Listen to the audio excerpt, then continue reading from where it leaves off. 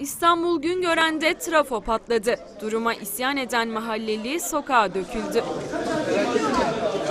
Güngören'de dün akşam saatlerinde 4 katlı bir binanın zemin katında bulunan trafo patladı. Gürültüyle sarsılan apartmanda oturanlar korkudan kendini sokağa attı. Patlamanın ardından trafoda yangın çıktı. Tüm mahallede elektrik kesildi. Trafo patlamalarının sürekli yaşandığını belirten mahalle sakinleri duruma isyan etti. Defalarca aynı şey oldu. Bak burada bu kadar insan yağmur altında ıslanıyor. Ben evimde hastam var. Ben bile istemiyorum. Kimse yapmasın. Buraya yetkililer gelsin. Derdimizi dinlesin. Bize taahhütünü versin. Biz de razı olalım. Yapılsın. Sorun neyse çözülsün ya. Geçen sene aynı. Bu sene aynı.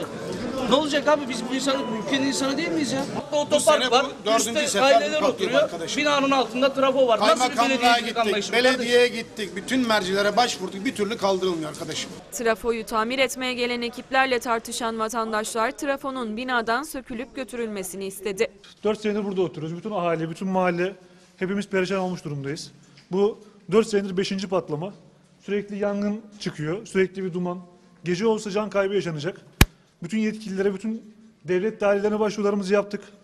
Bakanlığa varana kadar, e, Enerji Bakanlığı'nın özel kalemine varana kadar bütün başvurularımızı yaptık. BEDAŞ, belediye hepsini yaptık. Bütün en son BEDAŞ'tan kalmış konu. BEDAŞ belediye Güngören Belediyesi'ne haber veriyor. Sadece yer gösteri taşımak için.